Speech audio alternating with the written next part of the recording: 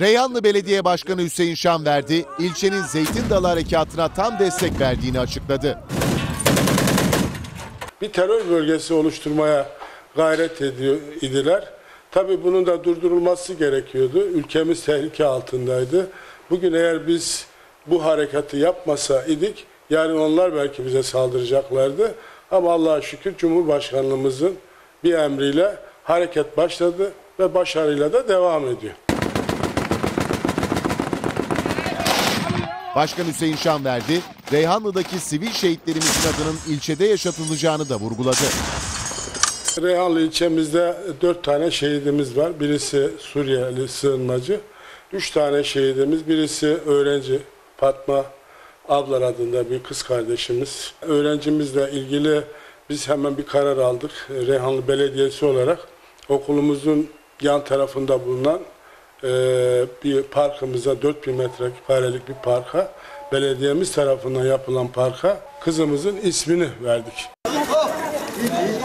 Reyhanlı ilçesi 2011 yılından beri ülkelerindeki iç savaştan kaçan Suriyeli sığınmacılara kucak açıyor.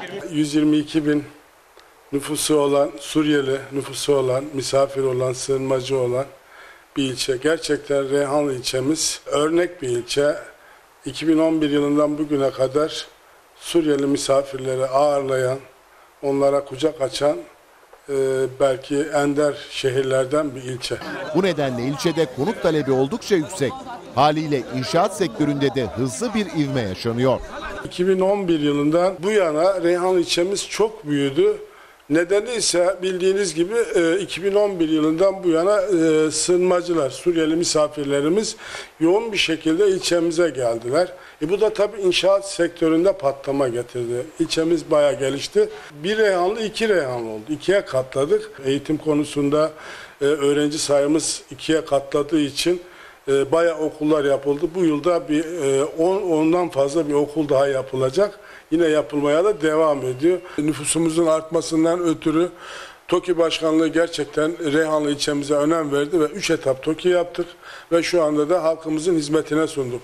Yeni küçük sanayi sitesi yapıyoruz. Sanayi esnafımızı düşündük. Nüfusumuzun yoğunluğundan ötürü Reyhanlımıza büyük bir hastane yapıyoruz. İnşallah bu hastanemizi de 6-7 ay içerisinde hizmete açacağız diyorum ben. Reyhanlı'da sosyal tesislerden iş merkezlerine kadar büyük bir atılım yaşanıyor. İlçemize yanı başımızda bir 5 kilometre ileride 600 bin dönüm araziyi sulayacak bir Reyhanlı Barajı yapılıyor.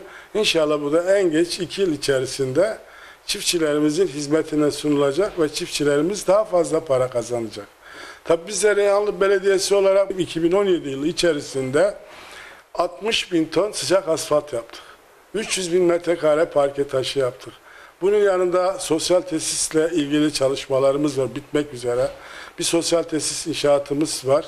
Bunun içerisinde kütüphane, e, sinema, fitness salonu ve Türk hamamı gibi değişik sosyal aktiviteleri olan bir sosyal tesisimiz var. Ayrıca içerisinde 120 tane iş yeri olan 13 bin metrekarelik bir alana bir iş merkezi yapıyoruz. Onu da inşallah bir 6 ay sonra bitirmeyi hedefliyoruz. Bunun içerisine de Hubbetü Sahra'yı yaparak oraya bir anıt şeklinde bir mescit yapmayı, cami yapmayı düşünüyoruz. İnşallah bunları kısa bir süre içerisinde bitireceğiz. Tabii bunun dışında yine ilçemizin en yüksek noktasında seyir tepesi yapmayı planladık ve şu anda inşaatı devam ediyor. Onu da inşallah 6 ay gibi bir süre içerisinde bitirmeyi hedefliyoruz. Kültür Bakanlığımız e, bir kültür hanı yapıyor. E, Türkiye'de ilk defa bir kültür hanını Reyhanlı ilçemizde yapıyoruz. Biz Reyhanlı Belediyesi olarak bu projeye destek veriyoruz. Başkan Hüseyin Şanverdi yatırımlarda çocukları da unutmadıklarını söyledi. Çocuklarımızı hiçbir zaman unutmadık. Ee, ilçemize yeni yeni parklar yapıyoruz. Bu parklarımızı hizmete soktuk. Yeni yeni yerler yapıyoruz. Bir yıl içerisinde 15'e yakın halı saha yaptık. Halı sahaları da hizmete soktuk. Bunlar da gerçekten gençlerimiz için güzel bir aktivite olduğuna inanıyorum. Bu tesisleri gençlerimize kazandırdık. Ben hatta tüm Türkiye'ye sesleniyorum. Herkes gelsin Reyhan ilçemizi görsünler. Yemek lezzetlerini görsünler, ilçemizi tanısınlar. Ee, bizim kapımız herkese açık. Tüm Türkiye'yi biz Reyhanlı'ya bekliyoruz.